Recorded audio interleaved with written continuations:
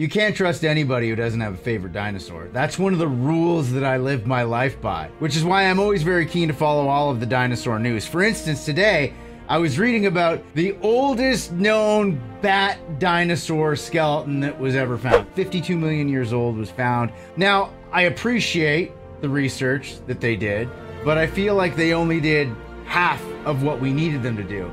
There was no research even attempted to determine whether or not this bat potentially inspired a young dinosaur who witnessed his parent dinosaurs get gunned down after going to like a dinosaur opera.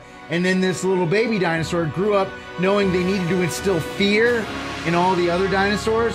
So they took on the mantle of this 52 million year old bat and then protected Dinosaur City from criminals.